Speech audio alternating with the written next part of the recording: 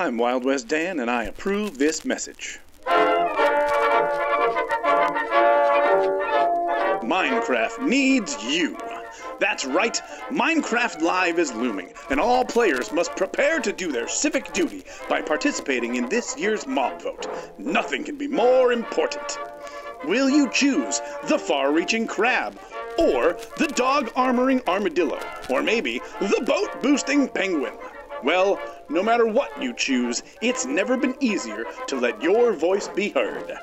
Once again, Minecraft has created a brand new map to vote on.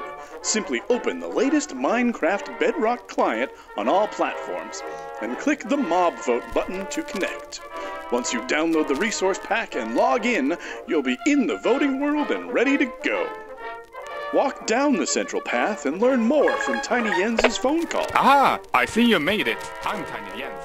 At the end of the path, you'll see the central voting area behind Tiny Vu. Flip the lever below the mob signs to cast your vote and you can change your vote as often as you want before the voting ends. There are even secondary voting locations behind each mob statue if the others are too crowded.